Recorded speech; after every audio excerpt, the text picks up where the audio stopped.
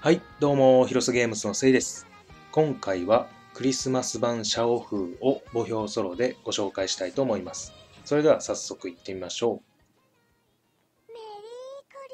う。で、えー装備武器は、えーっと、メルクリオのモチーフ武器ですね。で、これがバフが2個つけれるんで、えーまあ、後ほど説明しますと。で、アクセサリーは、えー適当につけてます。でオートスキルは攻撃15、攻撃15と、これですね、基本強化効果数プラス50%攻撃強化。まあ、要はあれですね、バフがついてたら、えー攻撃力が50%、1個につき50%上がりますよと。で、今、えーメルクリオのモチーフで、えーと、ダメージカットバフと、えー攻撃アップバフで、えーシャオフ自身の攻撃速度アップバフ3つつくんで、えー攻撃力が150%強化されます。なので、えーと呪い剣よりもメルクリオのモチーフの方がいいのかなと思いました。せっかく攻撃速度のアップなんで、えーと、ケンキャンは使わずにいきます。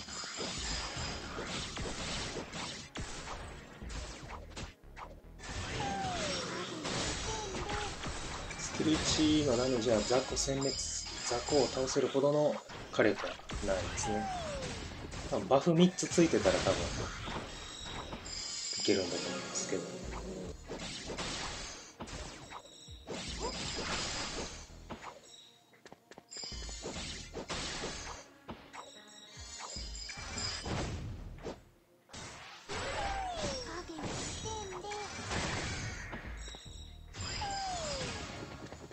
バフ3つついた状態だと多分斧以上に攻撃力が高いはずですね。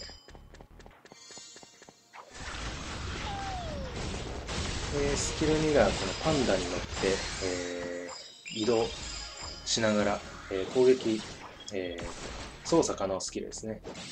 なんですけど、まあ、パンダに乗ってる時間もそこまで長くなく、で、パンダ自身もそんなに速く動かないので、こう、なんですかね、警戒感みたいなのはないですね。本当にあの、遊園地のパンダの乗り物と同じようなスピードですね。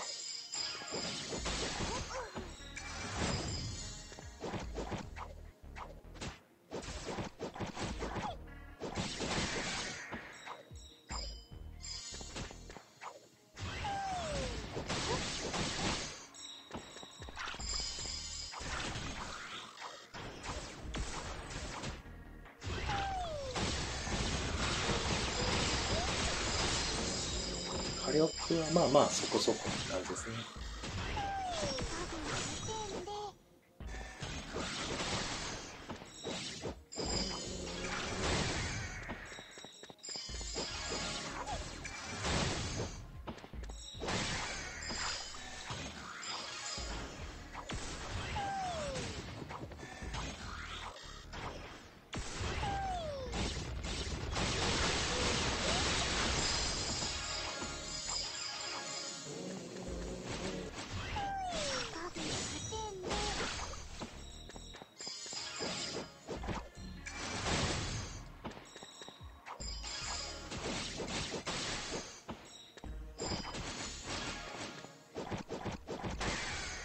SP 回収もしやすいですね。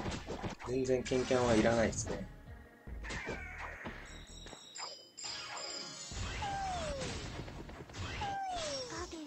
運営としてはあまりケンキャンさせたくないんですかね。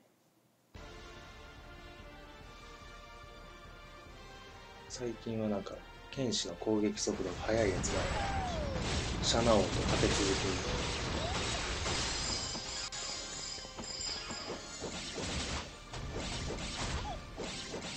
最初の開幕の、えー、ちびみのちびうこは、えースキル2でワンパンでいきます。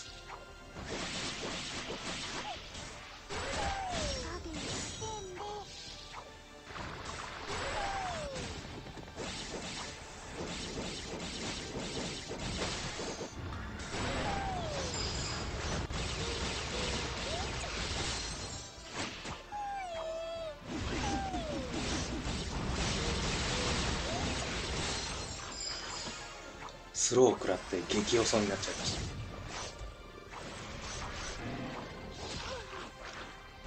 た。やばい。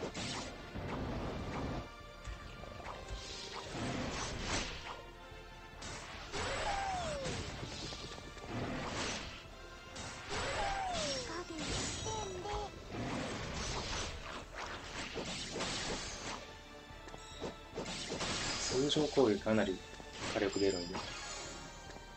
削れますね。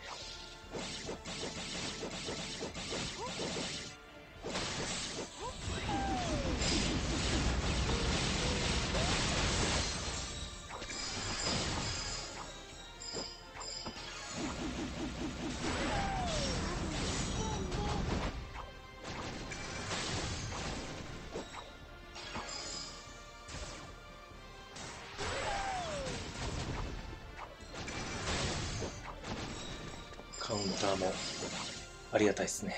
やっぱ剣士強いですね。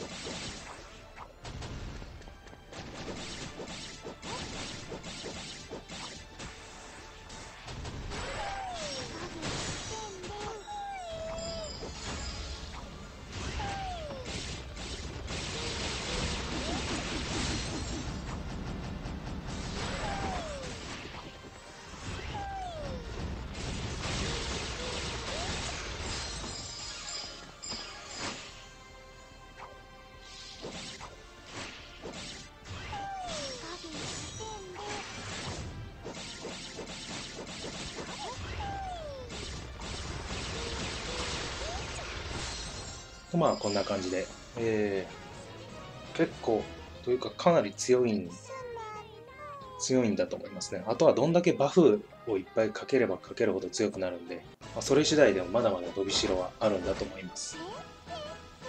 以上、えー、ご参考程度にしていただければと思います。ご視聴ありがとうございました。